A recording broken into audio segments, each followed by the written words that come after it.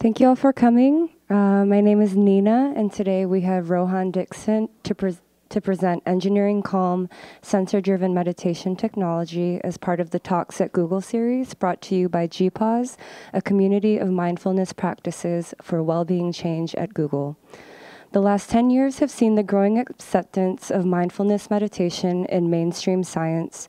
Hundreds of studies have now demonstrated quantifiable physiological effects of meditation on heart rhythms, stress, immune response, and more. In fact, it appears the brain itself changes both during the act of meditation as well as after repeated practice. We'll show you the brainwave, heartbeat, and breath sensors that can help you track your mind during your day.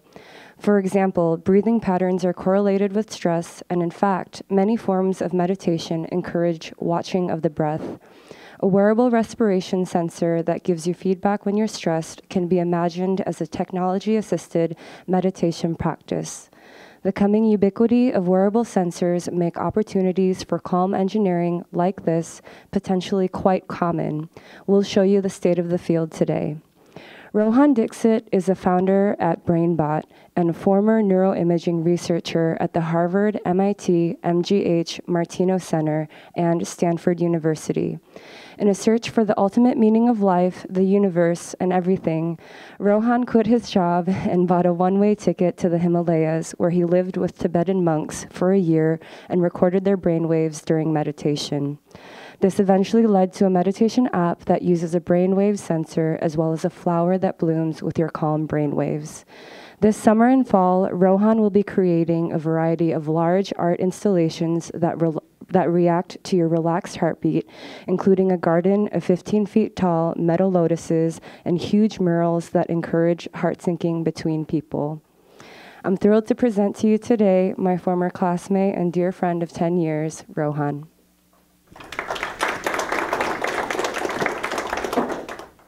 As Nina was saying, my name is Rohan, and I'm the founder of BrainBot, which is uh, a group of three or four friends who are all interested in the intersection between meditation and sensors.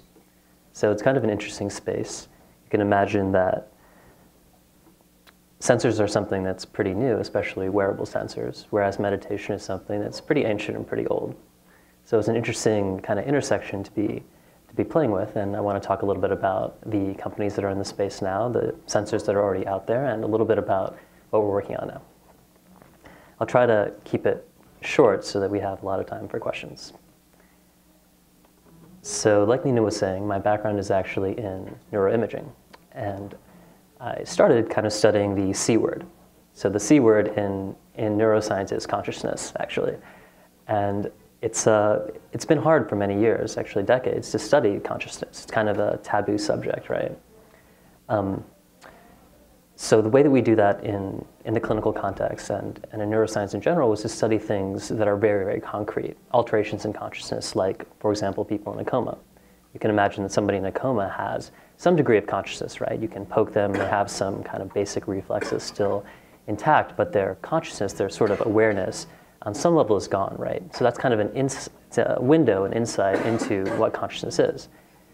So, uh, so we studied people who were in comas. We studied people who were under deep anesthesia, which is a similar kind of situation. You have people who were in, uh, who had epilepsy, temporal lobe epilepsy, and they tend to have altered states of consciousness during their seizures. So those are three kind of short examples of ways of studying consciousness that exist already in the neuroscience world. But eventually, I ended up in Sarah Lazar's lab at Harvard studying people who meditate and their brain. And so you can see here on the screen, this is a, this is a monk who has a whole bunch of sensors on his head. Those are called EEG sensors or electroencephalography sensors. And basically what they're doing is measuring the electrical activity of the brain in real time um, while the monk does things. So um, you can imagine asking the monk to meditate and recording the brain waves before and after and seeing what changes actually happen. And it turns out that the brain actually does change during meditation, both over the short term and kind of the long term. So with these sensors, you're able to kind of pick up on these changes that are happening structurally and also um, the changes that are happening in real time. So why is it that you might want to study meditation? Meditation is kind of a hokey thing, right? It's kind of a woo-woo or magical in a way, but um, the practices themselves um, are actually quite simple. And really kind of boil down to attentional training and um, self-inquiry in a way. So uh, meditation often is associated with the East, but I think this is kind of an ancient trend. The idea of self-knowledge and self-inquiry was something that Socrates was really into, right? Know thyself. And I think that's the basis for a lot of forms of therapy as well today. Kind of having self-awareness, I think, is how all of us, right, kind of grow as people. The ability to introspect into yourself, to see yourself in different situations, and to understand how you react to stressors in the world actually allows you to grow. And meditation actually, in part, is that. It's building the ability to kind of look inwards, to see your own body, to see your own mind, and to watch yourself with attention, sustained attention, over the course of your life. So it turns out that just like any other practice, for example, learning juggling, um, you know, if you look at people who learn juggling over the course of three, eight weeks, you kind of see that there are areas in the brain, like in the motor cortex, that actually thicken. That's just called neuroplasticity. It just seems to be the case that the brain actually responds and grows in response to repeated activities. The same thing is true with meditation. And so what we were doing in the lab was basically studying that, trying to characterize how the brain is actually changing. We found a lot of interesting things. For example, it appears that in as little as eight weeks, you can have measurable changes uh, in the brain in areas that are associated with sense of self and also empathy. Those are two kind of things that, two aspects of personality that oftentimes are interesting to kind of play with and to develop. So that was my life as a, as a researcher in a lab, and I love it. I love research, and I'm kind of a nerd about it. But I found myself, as we were studying meditation, realizing that it was actually a pretty beneficial thing. Um, you know, it seemed like the monks and the long-term meditators we studied tended to be happier people, just more relaxed. And I kind of wanted that for myself, although I didn't really feel it. So I decided eventually to follow those monks that we were studying in the lab back to the Himalayas where they live to try to understand what meditation actually was and to do it for myself. And uh, because I am a nerd, I took a bunch of brainwave equipment with me to try to measure their brains. I thought I could make a device that would help me learn to meditate without any of the kind of uh, the interface of words, right? When you try to explain how to do something to somebody, you can only use words to really describe what you mean. But the advantage of using sensors is that you can actually map um, what's happening in someone's body to what's happening in your body without the crutch of language. So that was the idea. I took a bunch of brainwave sensors with me, and I spent, as Nina was saying, almost a year traveling around through India, um, going to these monasteries that are at the top of the Himalayan mountains and meeting these monks. These monks are really interesting people. I can probably tell you stories for days about them. Um, but what, what kind of came out of that was, one, a, a, deeper sense for myself personally of just what meditation was and what it could do to you. Um, these people are really, really nice and really friendly. And I think some of that stems in part from their, their practices. And two, it kind of led to, uh, to this app. So when we came back, we, uh, when I came back from India, uh, some friends and I were kind of looking at the data and we realized that uh, with a little bit of machine learning, you could kind of pick out when somebody was meditating and when they weren't. So we sort of applied the, the state of the art in neuroscience with a little bit of machine learning to basically interface with a commercially available headset. This thing is like about 100 bucks. It's called the NeuroSky. And help people learn to meditate with a virtual meditation instructor. So this app is in the is in the Apple App Store. I felt a little bit embarrassed not having an Android app coming to Google, but um, soon, hopefully. Uh, and it kind of does some interesting things. So one of them is just habit design, which is really boring and simple, but actually really important. I don't know if any of you have tried to meditate. I, I've tried and failed so many times. It's, it's out of control. And part of that is just the ability to build a habit, right, and to do it repeatedly. So some of what the app does is just simple, kind of like this flower, this plant grows in real time. And uh, your goal is to kind of keep it alive, like a Tamagotchi. I don't know if you guys are old enough or young enough to remember what that is, but um, basically it's like a, a little device that you keep in your in your pocket, and it was like a little creature. You had to feed it and make sure it was healthy and happy. And so this is kind of the same idea. This is a plant you keep alive with your meditation. One of the cool things that um, that we were able to build in with with the brainwave sensor was this kind of real-time feedback, the virtual meditation instructor I was talking about.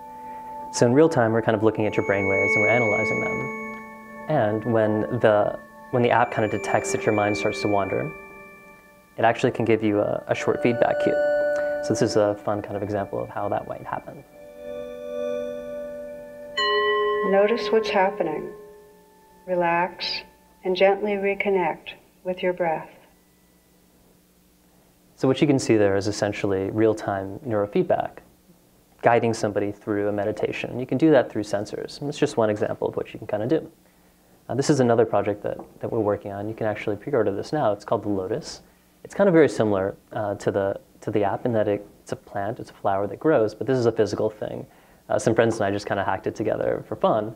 But basically, the idea is it acts as a, as a meditation Pomodoro timer. I don't know if you guys have ever played with this, but essentially, a Pomodoro timer is kind of just an egg timer. You set it for, say, 30 minutes or 20 minutes.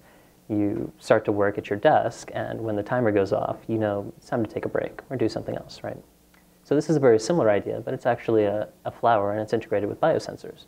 So, the way that it works is as you start to meditate, the flower picks up the meditation through the headset via Bluetooth and blooms. Um, so here's a little animation of how that how that happens. You see the headset. It's sending data to your phone, and your phone is then analyzing and determining when you're meditating and using that as a signal to bloom this physical flower that sits on your desk. Over time, that flower starts to close again, and that just acts as a reminder to, to meditate. So that's another kind of fun project you can do. It's very simple now with with these sensors and with a little bit of signal processing. So I wanted to talk a little bit about some of the sensors that are out there. We're talking about engineering calm and sensor-driven meditation technology, right? So I wanted to introduce you to some of the, I think, cutting-edge and best-in-class sensors that are out there today. So this sensor is called the Spire. You can pre-order it, I believe, now, um, and they should start shipping in the fall. But the Spire is basically a respiration sensor. So essentially what it does is uh, kind of clips into your, into your belt or into your bra, and there's a little flex sensor kind of built inside. And as you breathe, the Spire recognizes that you're breathing and kind of analyzes that on your phone and gives you a feedback signal when it determines that, you that your breathing pattern seems stressed out. So you can imagine that your body is all connected, right? Your brain, your heart, your breath. These things are all intimately linked in some way. And so almost like a hologram, if you look at any piece of your body or any kind of um, any aspect, any biosignal, you can see reflections of other signals as well. And so by analyzing the breath, uh, the people at Spire have been able to find a way to sort of get at when you're stressed out, and the phone kind of buzzes you when it determines that you're either holding your breath or the, or the breath is sort of indica- indicative of a stressed or frustrated state. We actually hooked this up to, to the Lotus uh, a couple weeks ago at a consciousness hacking meeting, which is a meetup that happens in San Francisco uh, about every month. Uh, this is the emWave. So we just talked about the breath. Spire kind of looks at respiration. Uh, the emWave is a product that's been around for about 10 years, and I think it's probably the best kind of heart rate or heart derived uh, meditation device out there. So I just want to kind of talk you through how it works. You can kind of see based on the screen, there's like a little box, right, and a clip. That clip essentially goes onto your earlobe. And what it's doing is measuring your HRV, so your HRV is, is heart rate variability. It's a signal that's embedded inside of your heart rhythm. It's kind of an interesting thing, and you can probably kind of test this as you sit here. Uh, when you're relaxed, relatively relaxed, and you breathe in, your heartbeat actually goes up. People often have this idea that your heartbeat is pretty stable. It's actually not true. Your heartbeat is constantly kind of going up and down, and the way that it works is on inhale, your heartbeat rises a little bit. You kind of test, right? And on exhale, your heartbeat kind of drops. And so if you graph that over time, what you're seeing is basically on an inhale, your heartbeat goes up, and you exhale, it goes down. And that kind of sinusoidal rhythm is what the emWave uses um, to give you feedback as to when you relax. If you're not very relaxed or you're kind of frustrated or tense, you're not actually able to elicit that sinusoidal wave when you breathe in and breathe out. The way that the emWave does that is with a series of LEDs that are on the side of this device. Basically, as you breathe in, the LEDs go up. As you breathe in, they go down. And you just kind of look at that and try to relax, elicit that wave, um, which of course is correlated with, uh, with your body actually feeling less tense, less stressed, and yeah, more relaxed. So we kind of riffed on that idea, the idea of heart rate variability or this kind of stress signal inside of the heartbeat in this big installation we're doing over the summer. So this is happening at Burning Man. We got a, a grant from them to do a big uh, art installation as Nina was saying, there are kind of these 15 foot tall lotuses, and this is a mock up and a rendering. Uh, we're building it now out at American Steel. If anybody wants to help, you're more than welcome to swing by. Um, but basically, the way that this installation works is by measuring people's HRV or heart rate variability, that kind of breathing in and breathing out signal of, of relaxation, and kind of correlating that to the brightness of a, of a 15 foot tall lotus in the middle of the desert. Now, it's not just one, like with the emWave, it's a single device, right? But the way that this works is more of an interactive, collaborative thing. Um, so, why would you want to have the HRV measured, the kind of heart rate variability measured for different people uh, in a group setting? It turns out there was some research in 2013 that came out of UC Davis. It was really interesting. So, I read this and I got, of course, very excited because I'm a nerd and I get excited about this kind of stuff. And what it, what it kind of showed was that people who are in a long term relationship um, for a year or more, uh, if you put them across from their partner and just kind of have them stare into their partner's eyes, uh, no talking aloud for three minutes, right? It's kind of a long time. Um, it's, it's kind of crazy, but if you're measuring their, their heart rate, they actually start to sync up. The heart rate variability of both of these people starts to align and sync.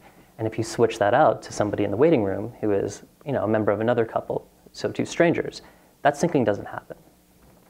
So the interpretation that the researchers had was that the ability to empathize with someone allows you to somehow have these subconscious cues that actually let you sync with, with other people.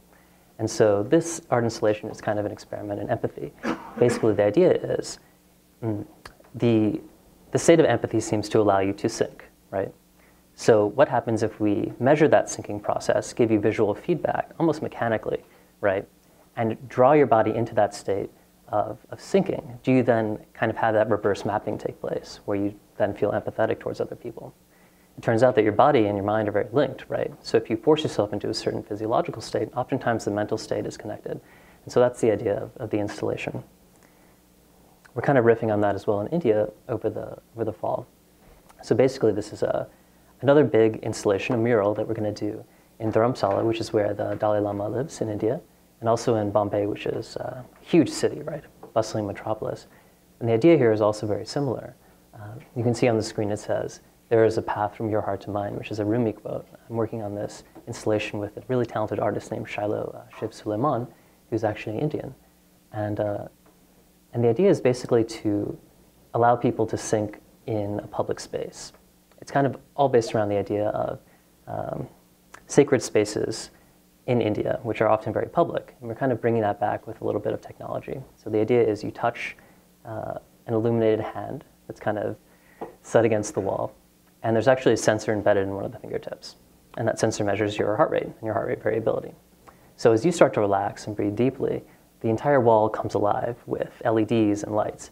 And there's a message that says find another partner, and another hand that becomes illuminated uh, across from you. So then you have to find somebody walking down the street, they have to put their hand against the wall, they have to breathe deeply. When both of you do that together, and the syncing sort of happens, then a hidden message comes out. For example, there's a path from your heart to mine.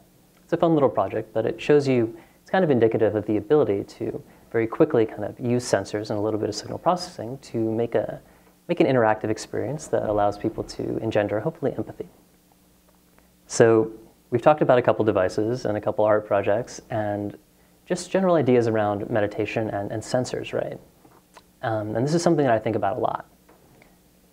The idea is, at least in my own mind, to find some sort of device that I can wear that allows me all the time, right, in real time, almost ambiently, to be aware of my own stress levels and to respond to that um, appropriately. So what you need there is then a sensor, right, and you need feedback of some type. So um, that feedback could be, um, it could be visual, like the HeartMath, right? That device with the LEDs that go up and down. You kind of have to look at the thing. You see it's measuring your heart rate and your heart rate variability, and you watch as the LEDs go up and down. And that's visual feedback, right? But there are all kinds of feedback that you can use. You can imagine auditory feedback. We played with that as well. We kind of uh, together a little sensor that goes behind your ear and kind of beeps at you all the time when, uh, when it recognizes your heartbeat. Um, but that's also not very ambient and it's not very wearable, right? The ideal device that kind of does this, the ideal meditation technology is probably totally invisible. It's socially acceptable um, and, and it's wearable throughout the day. And so with those as design kind of parameters, we have wrestled a lot with how to actually make this thing work. Um, and this is, this is something that we just started working on like a week ago. And I wanted to show you guys and get a little feedback. it's a little weird, but um, basically we, we had these sensors, right? And we were like, okay, where on the body can we measure this signal? So what we're measuring now is HRV. It's a very easy to, to pick up signal, much, much more so than these brainwave sensors. And so we were kind of figure out, we were trying to figure out exactly how to, how to measure it. We looked at the wrist. That turned out to be difficult for different reasons. It's hard to get a, a clean signal from the wrist, as any of you who bought a Basis watch probably know.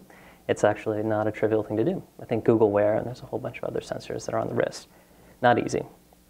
Um, we tried basically all parts of the body. Um, it was pretty ridiculous seeing us uh, kind of paste these sensors all over the place. But this is the process of trying to, trying to find something right in a space where you don't know what the answer is beforehand. And then eventually, I apologize. This is my friend Luke. He likes to take his shirt off. Um, God bless him. But uh, this was actually a photo we took yesterday. And so we kind of, as I said, just came up with this. This is essentially a belt that, um, or strap that you wear underneath your clothing. It's totally invisible. And you can kind of see um, up on the top right, that's a diagram from a patent application that, we, that we're submitting. And uh, you can kind of see it on his chest, right? There's a whole bunch of different vibrating sensors across a strap that kind of looks like this.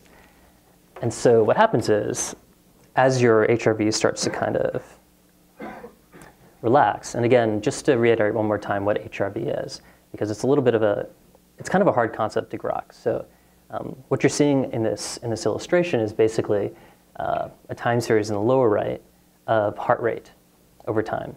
Now you can see it's kind of going up and down a little bit. That was me walking down the street. And then you can see me start to breathe deeply and relax.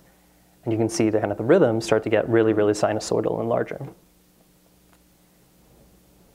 So that large sinusoidal rhythm, that's HRV. That's you being relaxed. And if you don't see that, then you're probably not feeling super, uh, super calm.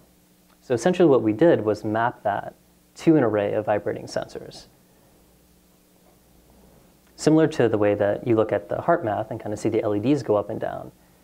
Basically, the central sensor in the middle kind of buzzes when you're at the, the valley of this HRV rhythm. And as you inhale and your HRV increases, the uh, vibrating array comes alive and kind of the, the feedback extends across the entire band. And as you stop with your breath and start to exhale, it comes back down. So what you get is what we call this hummingbird pattern, where basically as you inhale and you relax, you feel on your chest sort of this opening and closing of vibration. It's totally ambient, it's totally hidden, and uh, nobody knows you're, you're wearing it right. But what it does allow you to do is kind of, is kind of be a little more relaxed throughout the day this is the, the kind of, uh, the kind of uh, design process that, we, that we've been going through to, to find a device that allows you to basically have meditation wearable wherever you go. And so just, I just wanted to show you very quickly, I think some of you may have seen this already. But I just want to show you a little bit of like what this wave looks like and hopefully a little demonstration to close it out. So I'm a little bit nervous, right? I'm giving a talk in front of a lot of people. It's, I tried to prepare for it. Maybe I didn't do enough preparation. Maybe this isn't going as well as I hope. All kinds of, you have all kinds of thoughts, right? All kinds of fears. No matter what you're doing, you always have doubts, right? So you can kind of see that reflected in the heart rate. That's pretty fast. That's a pretty high heart rate, right? And you can kind of see that it's, I mean, if you just kind of look at it, every one of those spikes is a heartbeat, right? I'm wearing, uh, I'm wearing some sensors under my clothes, which of course you can't see because it's invisible but this is my heart in real time. So what I'm going to try to do, um, if you guys will bear with me, is try to elicit a little bit of HRV by relaxing in front of you on stage. Uh, so, so what will that look like, right? Um, what you should see is that there will be a period of heartbeats which will start to be kind of condensed faster, right? That's my inhale. Because as you breathe in, everyone's body, just yours, mine, everyone's, your heart rate starts to increase. And as you exhale, your heartbeat starts to decrease. So on my exhale, you should see those spikes start to get a little bit further apart, right? Okay, so let's do this.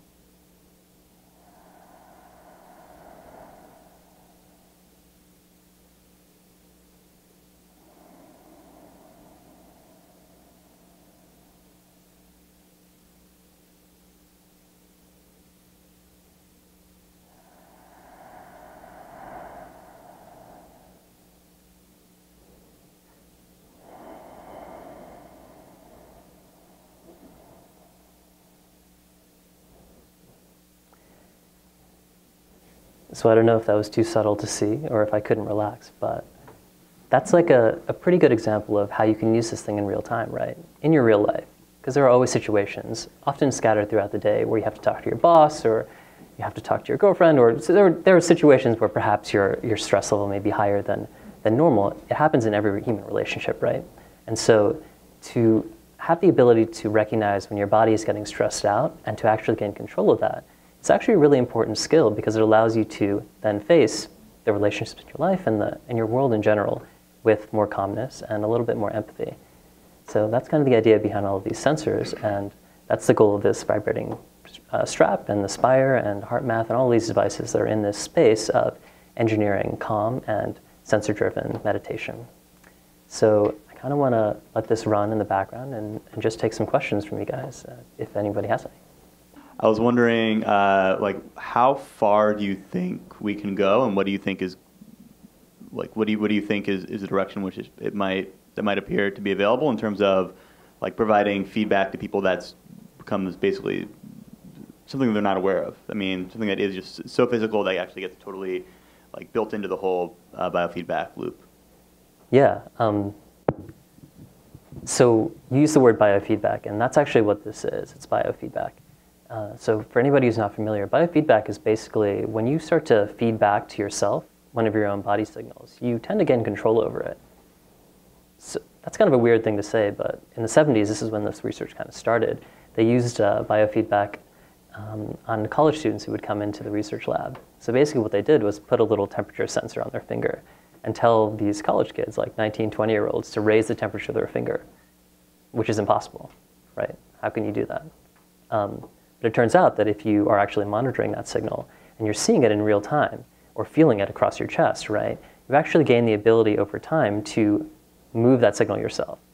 This is like the, this is the kind of the crux of biofeedback and why this is actually um, potentially such a powerful, a powerful space. So eventually what you're able to do is gain conscious control over something that was totally unconscious before. So in the case of the fingertip, it's the ability to raise your finger temperature.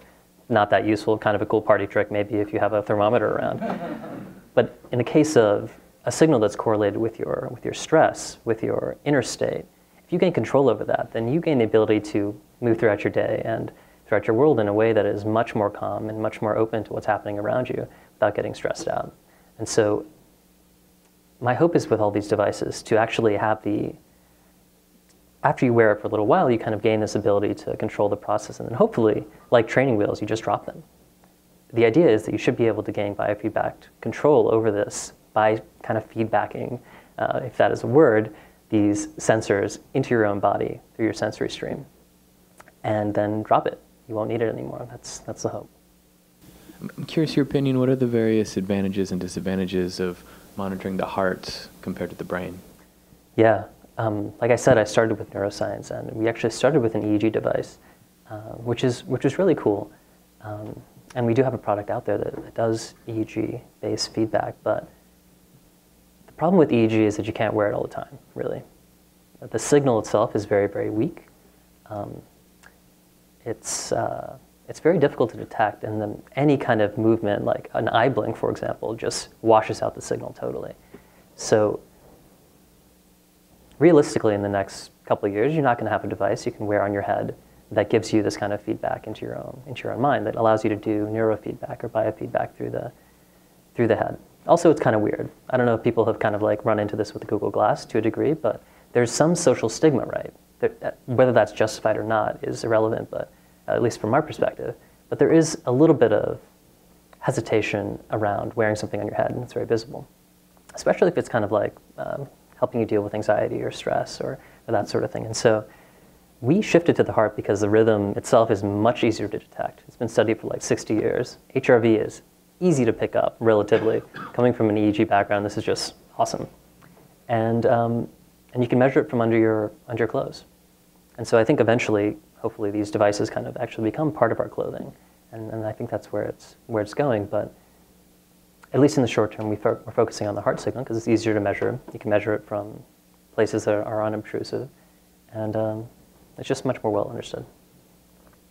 You know a bit about, uh, I'm actually interested not just in meditation, but I'm interested in trying to figure out how to uh, be able to manipulate focus.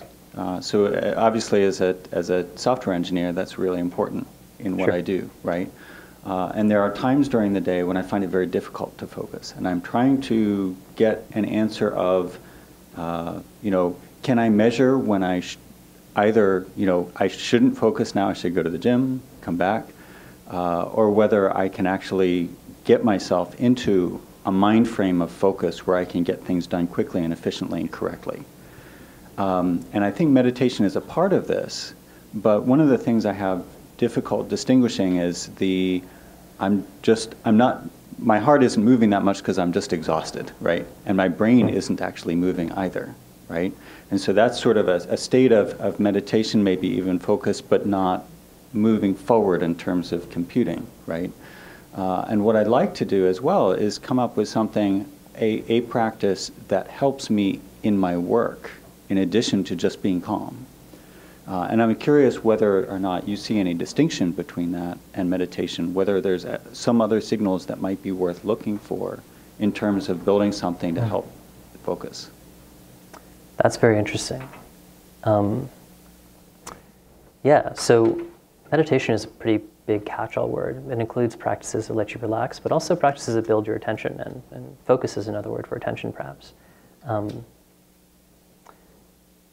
yeah, it's tough. I mean, EEG is really the way to go, I think, for building focus in general.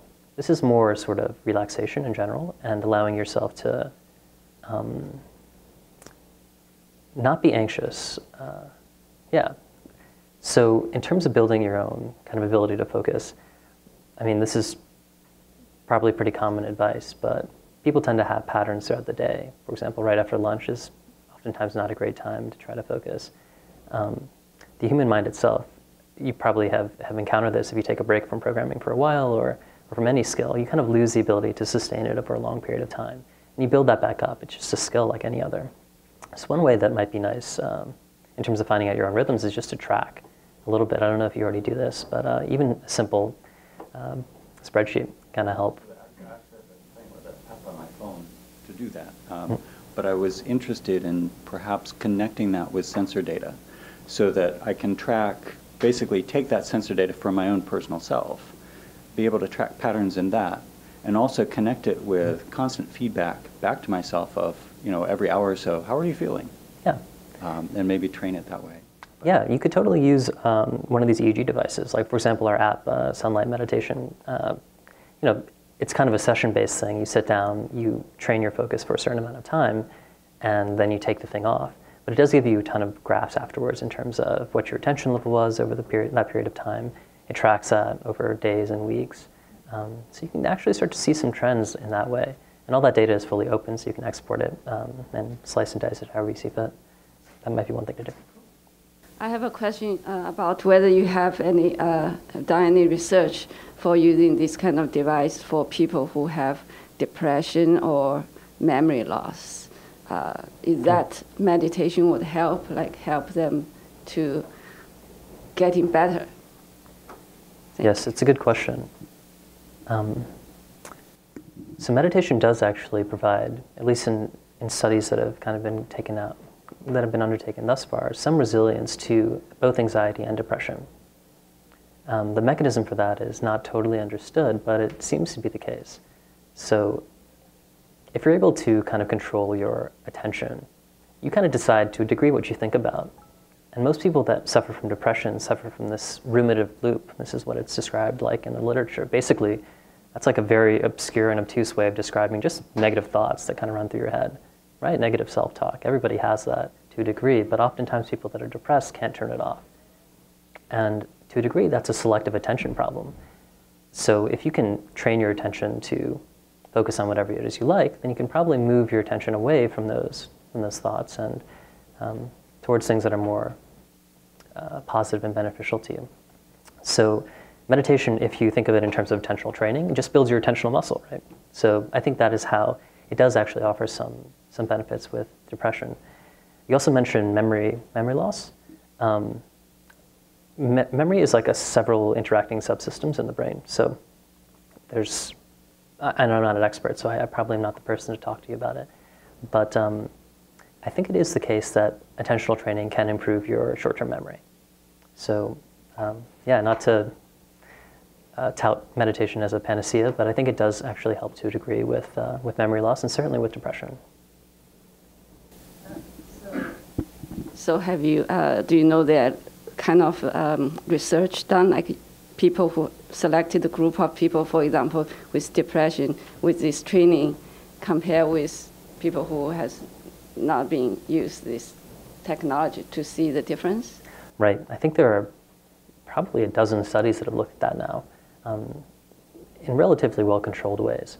So usually what you do is try to compare people who learn mindfulness, usually through this course. So most hospitals now, there are like maybe 450 hospitals at this point around the country that offer meditation as training for people with anxiety and depression, also chronic pain.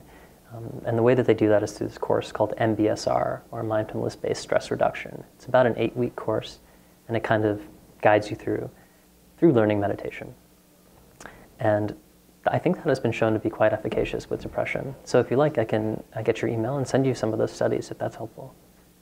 Hi, my name is Alex, and uh, I missed the consciousness um, hacking in San Francisco, so I'm so excited to, to come today. Um, so I've been following, I've been reading your stuff since then, and um, I was really interested that because you studied with monks, I was wondering what your thoughts were uh, that is, is this almost a result of like contemporary society that there's so much external stimuli that we need a device or that we need some kind of hardware now, some kind of biofeedback, uh, whereas for the past 5,000 years, monks were able to do it just through training the brain. Like it's, I guess just something I, I wasn't quite able to like form the question like how I wanted, but could you speak to, to that? Sure. Um, that's something I think about a lot. The amount of sensory input we have on a day-to-day basis in terms of distraction is out of control. Like it's probably never been seen in human history before, right? I mean, checking your email, Twitter, Facebook, there's just constant distraction.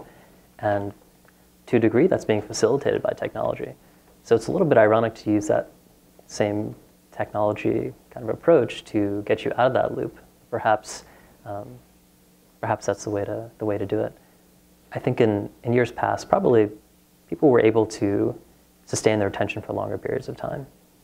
Um, and that's probably a factor of having less input and less kind of distraction in general. So I do feel that technology now has a role to play in bringing us back to the ability to, to pay attention, not only to things around us, like in terms of focus, um, but also to pay attention to ourselves. And I think that's where a lot of self-growth happens. That's what I'm really interested in, um, because that's where a lot of my growth personally has happened. So you mentioned uh, biofeedback. Have you given any thought to um, active um, direction of the person using the device? So, for example, there's one device out there called, I think it's called RESPeRATE, which uses music, and it it slows down the music in response to where it thinks you're going, but it, like it sort of encourages you to go down. Right. Is I don't know what class of device that is, but is that something you're interested in? It is, um, and yeah, we have thought about that a little bit. So, what you're doing basically is guiding someone a little, right? So over time, as you're listening to to the music that's being generated by your by your breathing, um, if I understand the, that device correctly, you're sort of building an association between the music and your state of mind, at least your breathing pattern, right?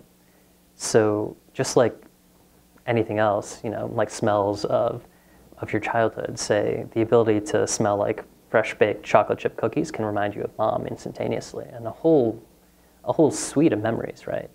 So if there's a certain music that's generated when your breathing is calm, and then you play that music back to somebody, most likely you're able to kind of shift them into that state. So by playing with their current rhythm, like this is my heart rhythm, right? If I'm feeling it vibrating against me, say that that's one of the modes that we're that we've uh, built. We're kind of like the chest strap constantly vibrates at every heartbeat. It's not super useful, but it is useful in the sense of guiding, which is why I, I built it. Uh, the idea would be my heart rate starting to go up a little bit, maybe too much, and the sensor is reading when my heartbeat is happening and then sort of slowing it down a little bit. So the feedback that I'm used to getting on every heartbeat is delayed a slight amount. And so I feel the vibration as if I had a slightly slower heartbeat than I really do. which then guides me towards a state of a slower, a slower heartbeat. So there's a ton of interaction, I think, that, that is possible there through biofeedback. And it's funny that it hasn't really been explored much. But I think that's partially a factor of biofeedback becoming popular in the 70s, um, promising a little too much too soon, and not having the computing power to really bear these things around with you, which is where the true benefit, I think, comes. You may be familiar with these neurofeedback clinics and biofeedback clinics that, you know, they're all over the country. You basically go to a to an office, sit down for like an hour and a half, once a week or once a month, and you know, pay 100 bucks or 500 bucks or whatever, and try to gain some biofeedback knowledge that way. But I think now that the devices are much smaller and portable, um, a lot of these applications may become pretty commonplace. Um, you said that people in long-term relationships can synchronize their heart rates. I thought that was really interesting, and I was wondering if you know the direction of the causality there. Do people who spend a lot of time together learn to synchronize their hearts, or do people who are unable to synchronize their hearts have relationship trouble and break up before a year has passed? Ian, that's a fair that's a fair point, and I don't think anyone knows the answer. Um, but what people did notice in that study in particular, which is I guess all I can speak to, is that in general, when uh, when they looked at the sort of direction between uh, between the couple in terms of who was actually syncing to the other, I mean, it, you can imagine that there's sort of like two metronomes happening, right? And what they found was that in general, one member of the couple tended to sort of see or empathize or perceive the other's oscillation and sync to them, rather than them both coming to some sort of in between, you know, 50 50 sort of split. And in general, what they found was that uh, the women in the relationship tended to be able to do that to a much greater, degree than the men. So that may have some kind of insight into, into your question. Um, and as a follow-up, are there any other kinds of relationships where this happens? Like, could you use it to predict who would make compatible coworkers or astronauts on a mission to Mars or something like that? I think it's possible, and I, the only time I've seen this study before, it's a pretty recent phenomenon that hadn't really been studied much, uh, was with, I believe, family members. Uh, this was a study out of Spain, and people were doing this firewalking exercise where there's a bunch of coals and one member of the family jumps up and kind of goes, walks across the coals, right? And what they found was that members of their family, even watching them do that, tended to synchronize with the, with the HRV of the person that was doing the firewalk. So it seems to be the case that any close relationship um, kind of elicits that. But I think it's too early to tell. Um, so going back to studying the monks and going into uh, um, meditation. So how is that? How do you know that that's correlated with brain signals and not um, just relaxing the forehead muscle or something? How do we know that what is not correlated? Uh, the that going into meditation um, and the uh, signal that you saw off the EEG mm-hmm. is not correlated with relaxing a muscle versus what's actually coming out of the brain. Sure. Um, so EEG has been studied for like maybe like 100 years now. And that is a problem that every EEG study runs into. And so there's kind of a whole suite of just standard techniques to get rid of muscle artifact.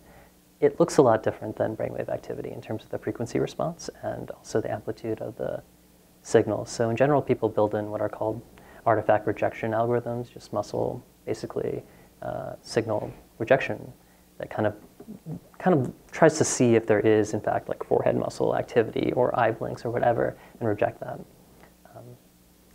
yeah, so that's one way to do it. Another is to like, I think that's probably that, that's a, a, good enough answer. There's a ton there actually in terms of the algorithms that are used to do that.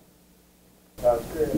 Uh, I mean, you mentioned EEG sensors and sort of muscle tension blowing away those signals. Mm-hmm. Um, I'm kind of curious what we can expect from consumer grade hardware. Like you mentioned the NeuroSky sensor. Um, you know, can we actually get a, an interesting signal from that, or do we have to go with something much more uh, expensive? Yeah, that is a great question and something we've struggled with a lot. So the NeuroSky is like probably the cheapest EEG device that's ever been released. It's a single sensor, and it's pretty noisy. Uh, I mean, coming from a research background where we use higher quality research grade, right, and clinical grade EEG, the signal is almost night and day. To get any kind of usable signal out of, for example, a NeuroSky is an incredible feat of signal processing and machine learning and um, and we're helped by the fact that in meditation, usually your eyes are closed and you're pretty still. So so basically what we found is a kind of subset of, um, of what you can measure in terms of brain activity and an activity that allows you to do that pretty well and get a relatively good signal. Um, there's a device coming out pretty soon called the Muse, which I think is, is just now fulfilling their pre-orders. And that's a, a much more high quality device. I think it's five sensors or six rather than just one. Um, but I think for at least the foreseeable short-term future, a lot of these consumer-grade EEG devices are going to be much less high quality than your passive electrode kind of uh, clinical EEG. All right, thank you very much.